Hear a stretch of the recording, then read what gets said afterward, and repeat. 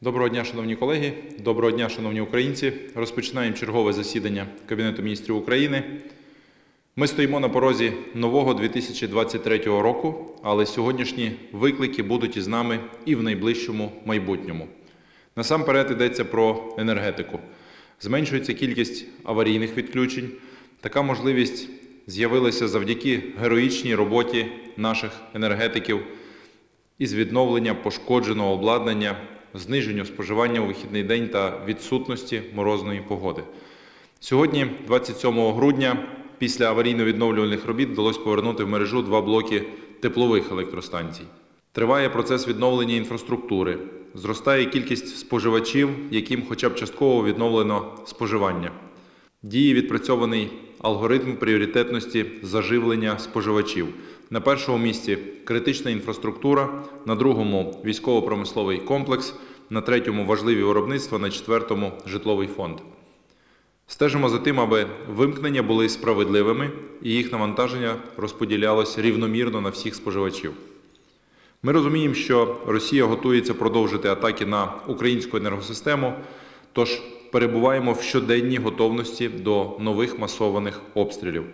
Це може статись будь-коли сьогодні, завтра чи навіть напередодні Нового року. Хочу підкреслити, у разі відсутності обстрілів новорічні свята пройдуть без аварійних відключень. Ворог прагне не лише вивести з ладу чергову підстанцію чи лінію електропередач, він передусім націлений сіяти страх та паніку. Але йому це не вдасться. Ми віримо в себе, в нашу армію, в наших енергетиків, в наших партнерів. Ми вистоїмо, бо єдині, сильні та мотивовані боротися за рідну землю. Щоб швидше відновити енергосистему, ухвалюємо сьогодні рішення про спрощення будівництва повітряних ліній електропередачі підстанцій. На час воєнного стану знімаємо вимогу проведення оцінки впливу на довкілля щодо таких об'єктів. Цей крок виправданий в екстремальних умовах повномасштабної війни, яку Росія веде проти України. Цього року держава виконувала всі свої соціальні зобов'язання перед українцями. Зробили майже неможливе. У надскладних умовах бойових дій в окупації під час обстрілів мирних міст і сіл на всі соціальні виплати спрямували близько 800 мільярдів гривень. Здійснили всі заплановані на 2022 рік підвищення, провели індексацію, зокрема, вперше проіндексували військові пенсії. Успішно реалізуємо ініційовану президентом Володимиром Зеленським програму підтримки пенсіонерів віком 80+. У жовтні додаткову допомогу почали отримувати люди, яким виповнилось 70 років. Загалом виплатили пенсії на понад 575 мільярдів гривень. Лише в грудні перераховано пенсії на 51,4 мільярда гривень. Створили систему централізованого нарахування виплат. Це дало змогу платити допомоги, субсидії та пільги людям, які перебували на території ведення бойових дій і в окупації.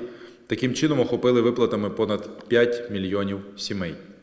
Продовжуємо соціальну реформу. Сьогодні урядовим рішенням на виконання закону припиняємо діяльність фонду соціального страхування, приєднуємо його до Пенсійного фонду України, робимо механізм соціальної підтримки більш дієвим та ефективним, адаптованим до реалій сьогодення. Планомірно скорочуємо зайві витрати держави. Також на 2023 рік продовжуємо перехідний період щодо переоформлення допомоги на дітей, які перебувають під опікою та піклуванням, на дітей з інвалідністю, на осіб, що мають інвалідність з дитинства, на тих, хто за ними доглядає.